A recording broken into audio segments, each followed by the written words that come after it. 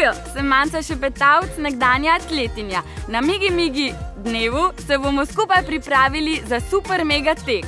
Skupaj se bomo ogreli, naredili par ogrevalnih vaj, potekli, torej se vidimo 21. septembra v Arboretumu Vovči potok. Čau!